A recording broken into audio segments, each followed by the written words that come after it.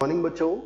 बच्चों ज्योग्राफी की इस ऑनलाइन क्लास के सेशन में आज हमारा जो टॉपिक है, वो है चक्रवात की संकल्पना और उसका वर्गीकरण, यानी साइक्लोन कंसेप्ट एंड क्लासिफिकेशन हमारी जो जलवायु विज्ञान है, उस जलवायु विज्ञान के अंतर्गत चक्रवातों का कंसेप्ट एक बहुत ही विशेष महत्व का कंसेप्ट है। हम जानते हैं कि वैश्विक स्तर पे या किसी क्षेत्रीय स्तर पे भी जलवायु और मौसम को प्रभावित करने वाले जो विभिन्न तत्व हैं, उसमें चक्रवात क्लाइमेटिक एक्सट्रीम्स के रूप में क्लासिफाई होता है। क्लाइमेटिक एक्सट्रीम्स जिसको हम कहते हैं कि सामान्य से ये अलग तरह की घटना है।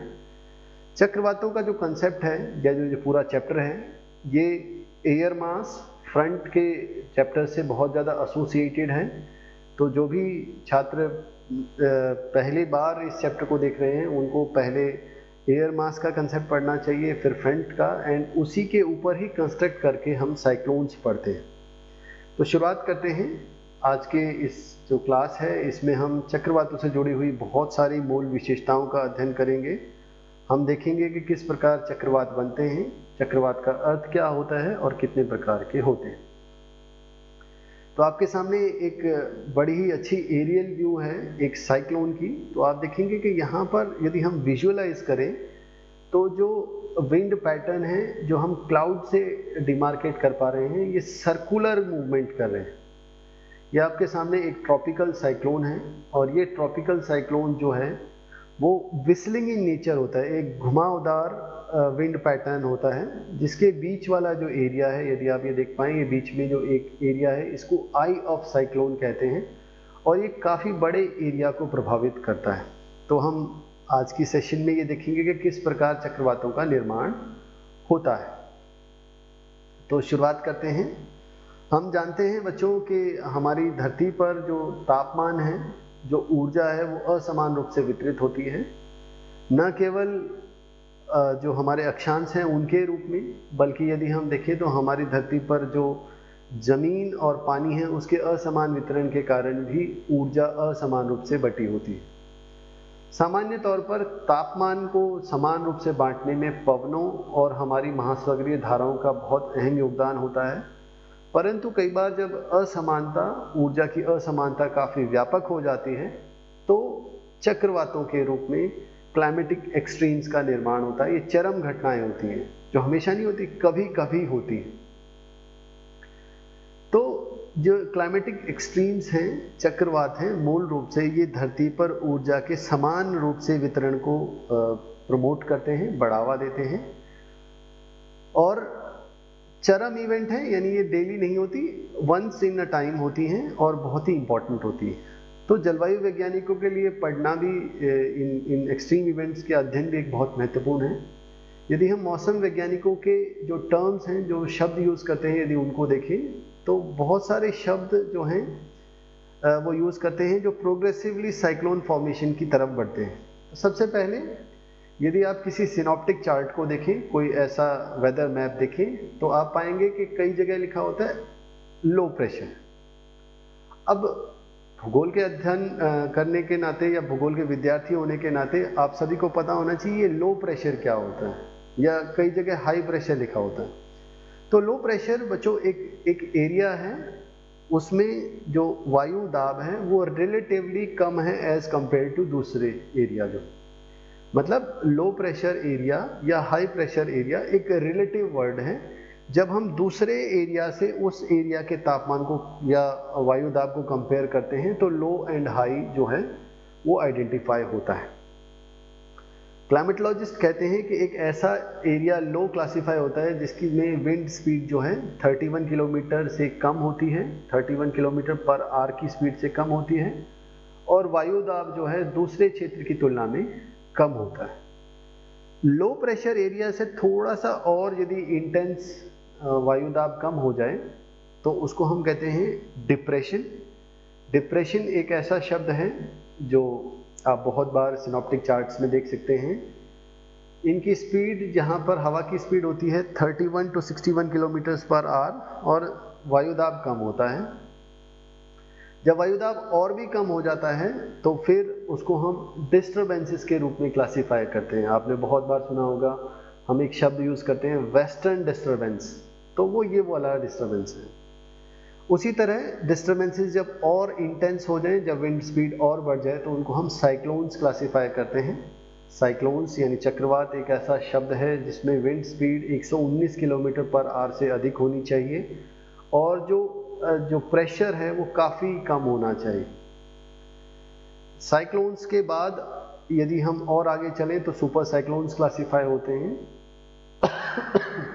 सॉरी ये सुपर साइक्लोन्स वो एरियाज़ होते हैं जो इंटेंस लो प्रेशर के होते हैं, जहाँ विंड स्पीड और भी अधिक होती है एज कंपेयर टू साइक्लोन्स आपने 1999 का सुपर साइक्लोन उड़ीसा में ज़रूर सुना होगा, जब विंड स्पीड बहुत ही रैपिड थी, बहुत ही फास्ट तो इस तरह जो हम शब्द यूज़ कर रहे हैं, जिसके बारे में हम पढ़ेंगे साइक्लोन वो एक ऐसा लो प्रेशर एरिया है जो प्रोग्रेसिवली डेवलप होता गया और जिसकी विंड स्पीड जो है, वो 119 किलोमीटर पर आवर से ज़्यादा है और काफ़ी तेज हवा चलती है।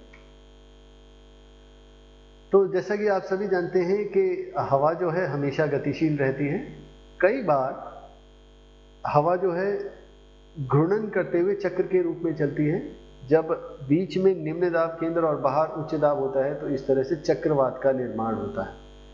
चक्रवात बेसिकली एक ऐसी आइसोबाज होती हैं जो सर्कुलर होती हैं, जिनके अंदर लो प्रेशर एरिया होता है और बाहर हाई प्रेशर हवा, आप जानते हैं कि हाई प्रेशर से लो प्रेशर की ओर चलती है तो इस तरह बाहर से केंद्र की ओर चलती है और ये हवाएँ चक्रवात का निर्माण करती हैं। यहाँ पे जो मूल बात ध्यान देने की है कि वेदर मैप पे जो है क्योंकि आइसोबार्स खिंची होती हैं तो जहाँ कहीं सर्कुलर आइसोबार्स का फॉर्मेशन हो, जिसके अंदर लो प्रेशर और बाहर हाई प्रेशर हो तो उसे हम चक्रवात की संज्ञा देते हैं। चक्रवातों में जो हवा की मूवमेंट है, वो कॉरियोलिस फोर्स से प्रभावित होती है। यदि हम देखें तो उत्तरी गोलार्ध में जो हमारे साइक्लोन्स हैं, उनके, उनमें विंड डायरेक्शन जो है एंटी क्लॉकवाइज होती है। वहीं साउदर्न हेमिस्फीयर में जो साइक्लोन्स में विंड डायरेक्शन है वो क्लॉकवाइज होती है।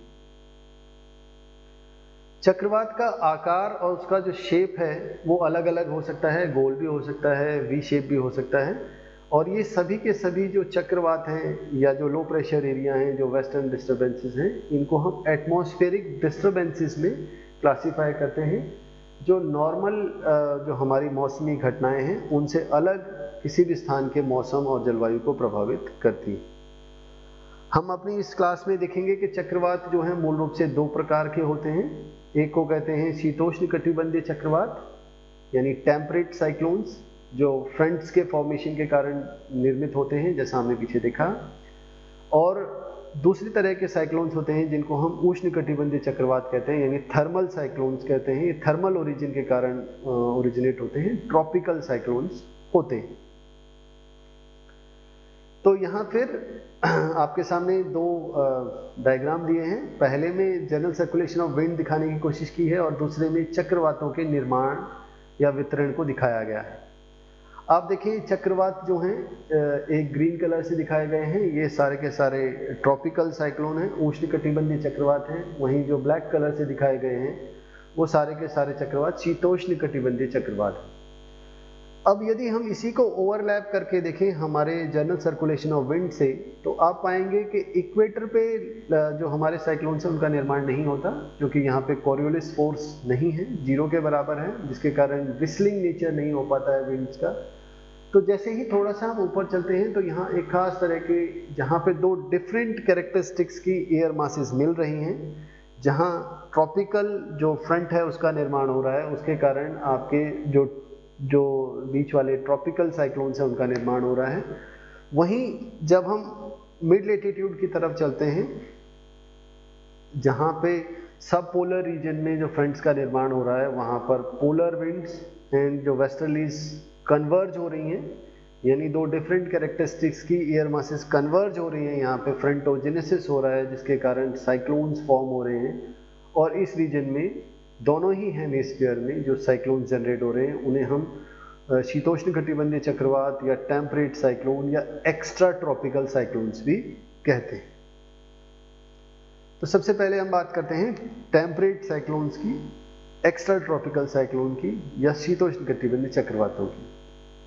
तो जैसा हमने पीछे देखा कि जो हमारे शीतोष्ण कटिबंधीय चक्रवात हैं, मूल रूप से उन स्थानों पर उत्पन्न हो रहे हैं जहाँ ध्रुवीय पवने और जहाँ पर जो पछुआ पवने हैं, यानी पोलर विंड्स हैं और वेस्टर्ली विंड है, कन्वर्ज हो रही हैं। ये दोनों ही एयर मासेस जो हैं, वो डिफरेंट काइंड ऑफ़ प्रॉपर्टी के हैं। जहाँ जो पोलर एयर मासेस हैं, वो कोल्ड हैं ड्राई हैं। वहीं जो वेस्टर्लीज हैं, वो वॉर्म हैं और ह्यूमिड हैं, जिसके कारण दोनों में एक फ्रंट का निर्माण होता है और इस जगह जो शीतोष्ण कटिबंधीय चक्रवात हैं, वो बनते हैं।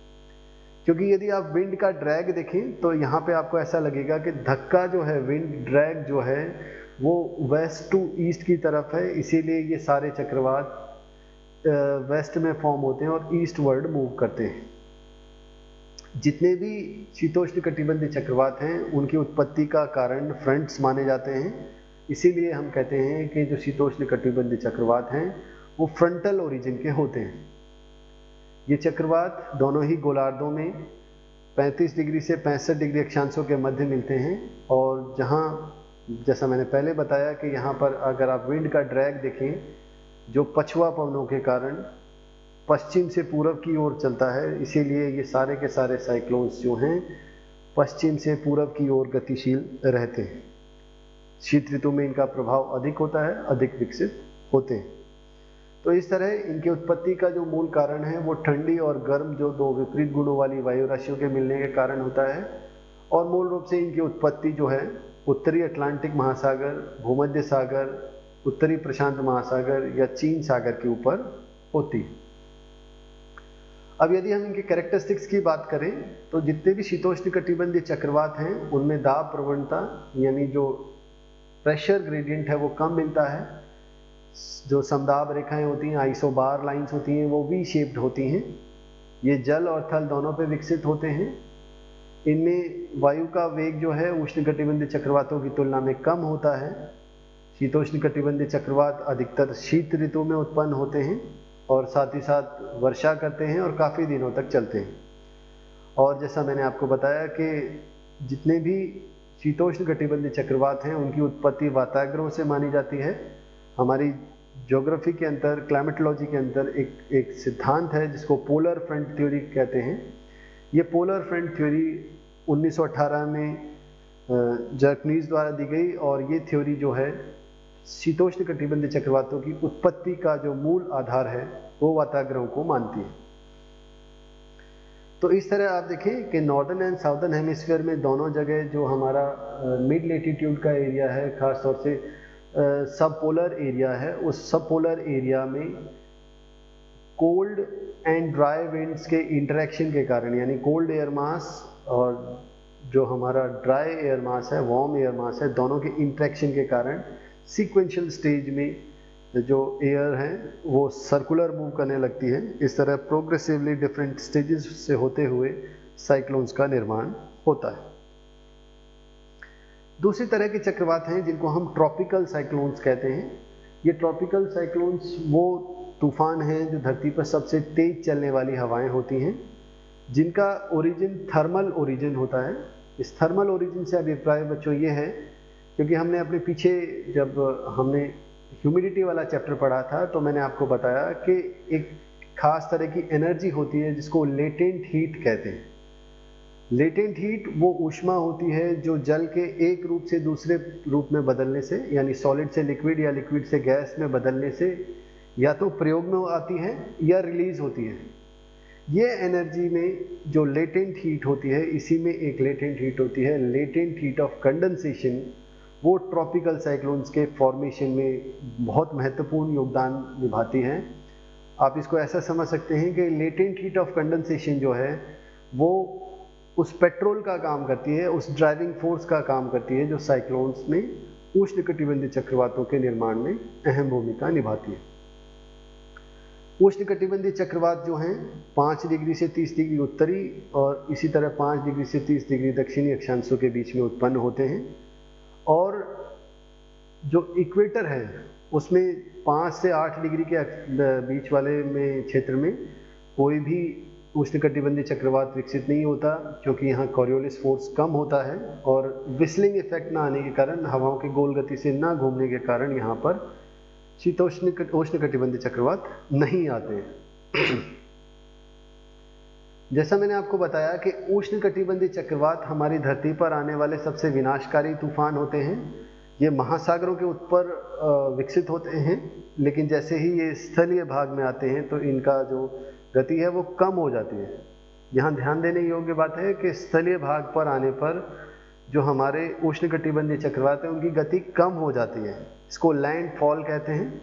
लेकिन लैंड फॉल के बाद भी इनका डिजास्ट्रस जो इम्पैक्ट है विंड स्पीड है, अभी भी नॉर्मल विंड स्पीड से काफ़ी अधिक होती है।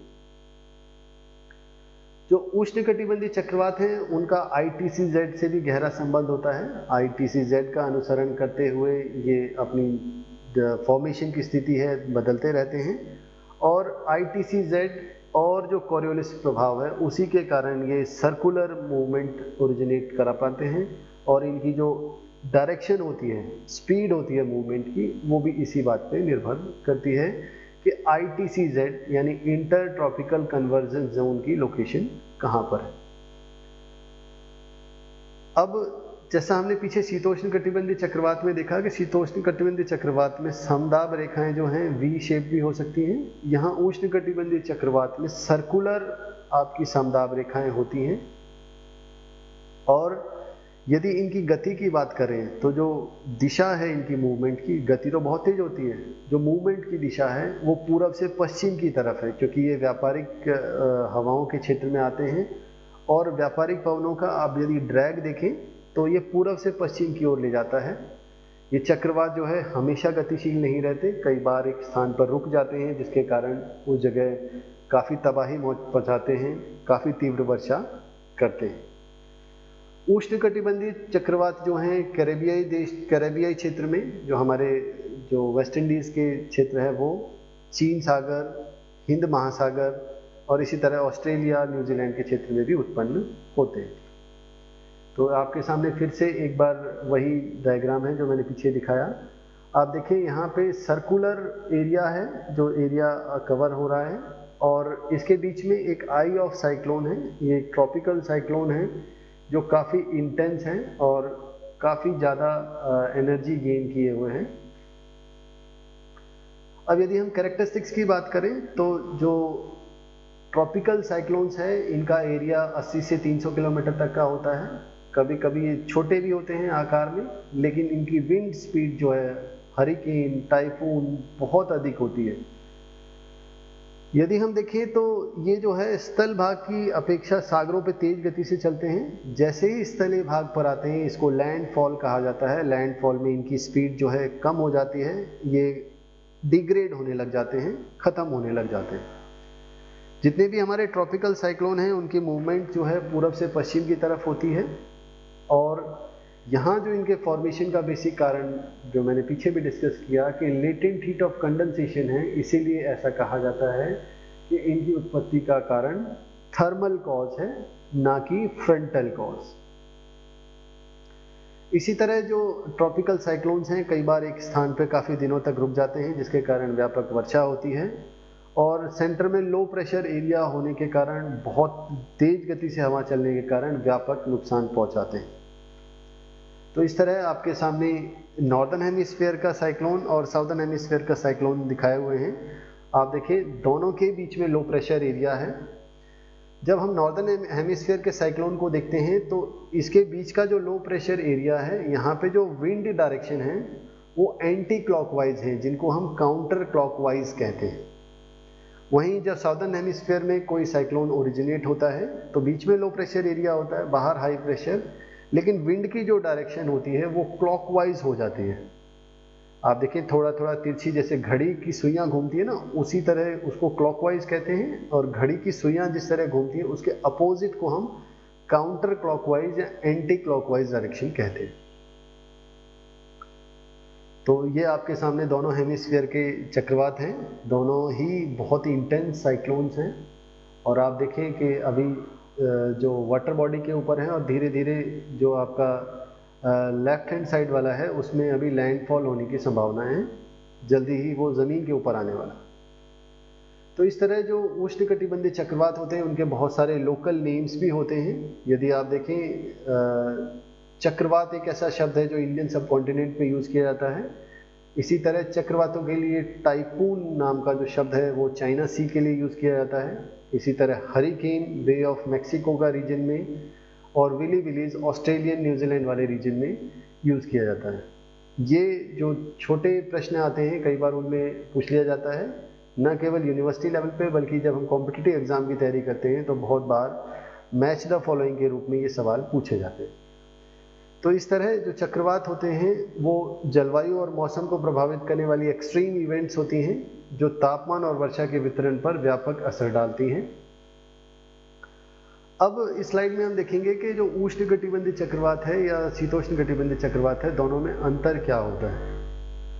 तो जहाँ उष्ण कटिबंधीय चक्रवातों की बात है, ये उष्ण कटिबंधीय क्षेत्र में मूल रूप से 5 डिग्री नॉर्थ से लेकर 30 डिग्री नॉर्थ साउथ के बीच में उत्पन्न होते हैं।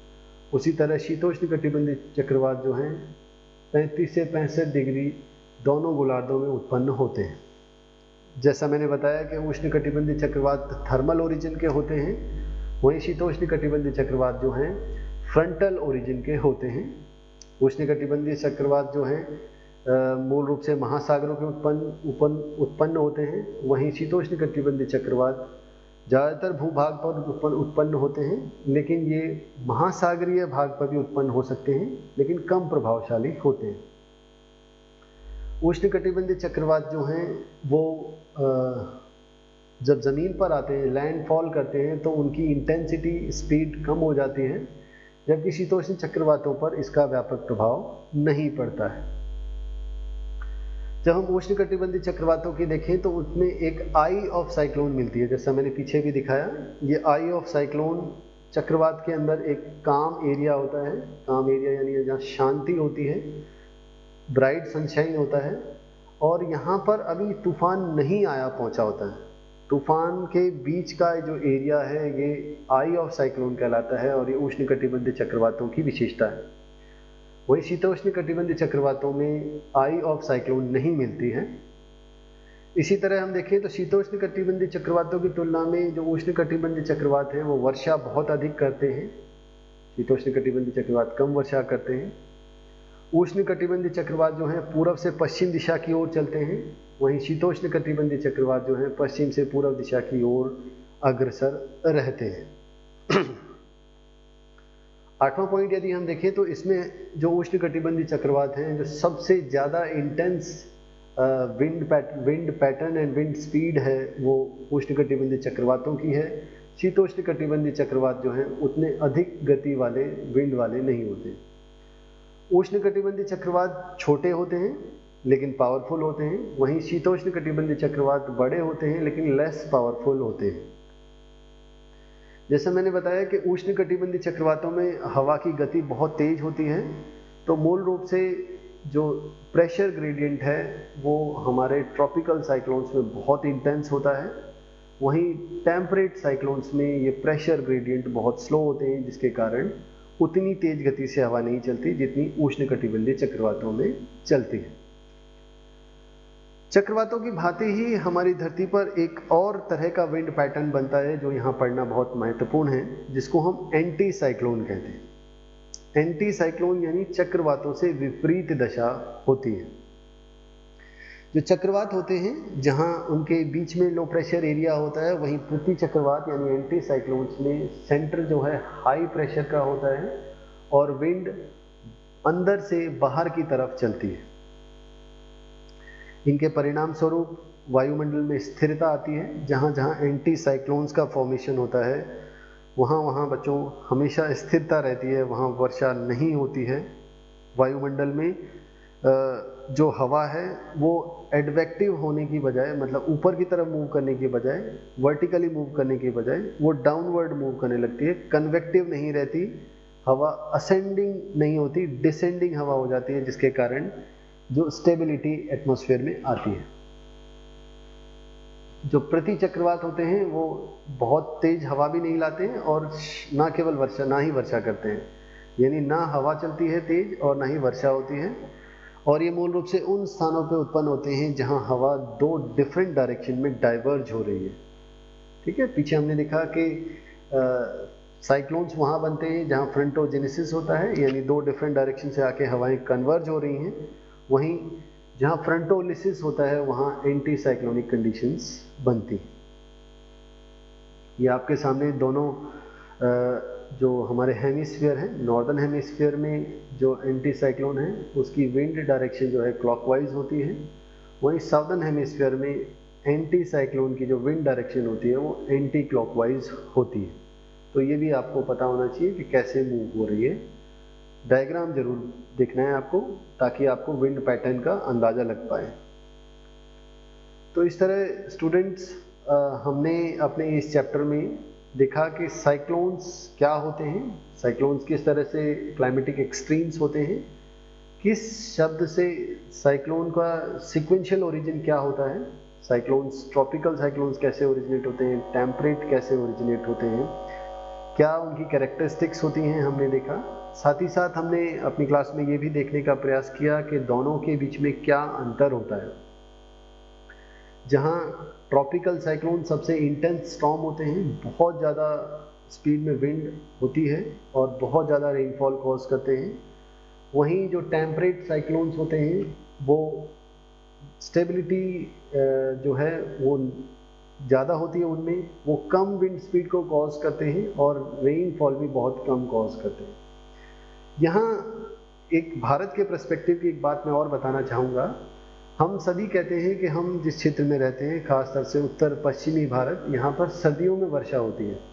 ये सर्दियों की वर्षा वेस्टर्न डिस्टर्बेंसेस की रेनफॉल होती है और ये वेस्टर्न डिस्टर्बेंसेस मूल रूप से शीतोष्ण कटिबंधीय चक्रवात होते हैं, जो भूमध्य सागर के ऊपर ओरिजिनेट होते हैं और जो हमारी जेट स्ट्रीम है, उनके अंतर होते हुए पूरे के पूरे उत्तर पश्चिमी भारत पर वर्षा करते हैं।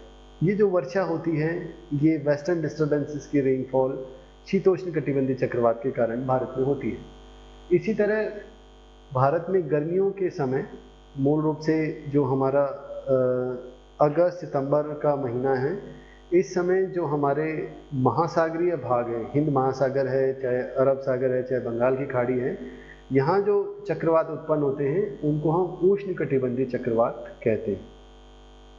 तो भारत के प्रस्पेक्टिव में दोनों ही तरह के साइक्लोन्स इंडिया में आते हैं।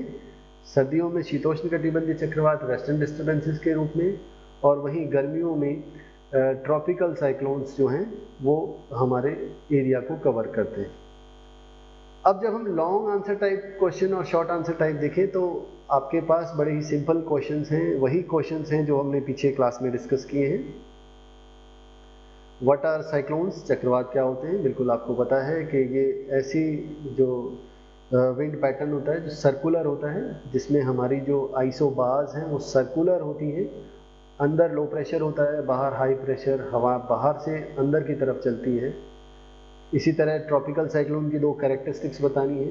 आपको एंटी साइक्लोन की प्रॉपर्टीज़ बतानी है, क्या होते हैं एंटी साइक्लोन तो बड़ा ही सिंपल है साइक्लोन के अपोजिट जो हैं, वो एंटी साइक्लोन्स हैं। आपको बताना है कि टाइफून कहाँ ओरिजिनेट होते हैं और उसी तरह आपको बताना है कि विली विलीज कहाँ उत्पन्न होते हैं। यदि हम बड़े प्रश्नों की बात करें तो चक्रवात क्या होते हैं, वो किस तरह बनते हैं, आपको बताना है। और दूसरे प्रश्न में आपको उष्ण कटिबंधीय चक्रवात और शीतोष्ण कटिबंधीय चक्रवात में अंतर स्पष्ट करने हैं, जो हमने पीछे क्लास में देखा था। तो इस तरह बच्चों, हमारी जो आज की क्लास है, मैं एक बार फिर से आपको बताना चाहूँगा कि हमारी ये क्लास एक सिक्वेंशियल क्लास है। आपको जब पढ़ना है तो आपको सबसे पहले एयर मासिस के बारे में पढ़ना है। एयर मासिस के ऊपर फ्रंट्स पढ़ने हैं। एंड फ्रंट से ही आप जानते हैं कि जो हमारे साइक्लोन का फॉर्मेशन होता है, इस तरह ये तीनों जो चीज़ें हैं air mass front and cyclone they are highly inter related they are sequential stage of development तो आपको पहले एयर मास उनकी प्रॉपर्टी पढ़नी है देन आपको फ्रंट फॉर्मेशन फ्रंटोजेनेसिस पढ़ना है फ्रंटोलिसिस पढ़ना है. देन आपको चक्रवातों के बारे में आना है cyclones tropical and temperate cyclones पढ़ने हैं. तो इस तरह ये सीक्वेंशली आपने पढ़ने तो इस तरह बच्चों, आज की क्लास में इतना ही। आपकी जो भी प्रश्न हैं, जो भी सुझाव हैं, आप मेरे से जुड़ सकते हैं। आपके प्रश्नों का, शंकाओं का समाधान करने में मुझे बड़ी खुशी होगी। आज के लिए इतना ही। धन्यवाद।